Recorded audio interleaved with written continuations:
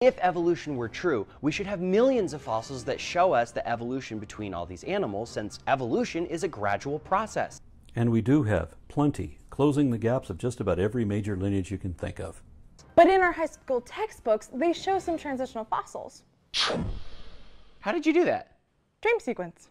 Well, in that case, Not bad. In this dream sequence, John and Jane demonstrate their alternative to evolution. This is where they think everything came from. This is how they think God created all the animals. That's how they think He created the universe.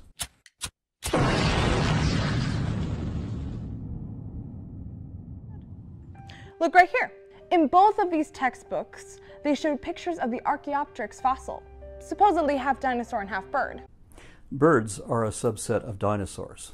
So referring to Archaeopteryx or Rahonavis or Caudipteryx or Mononychus or Velociraptor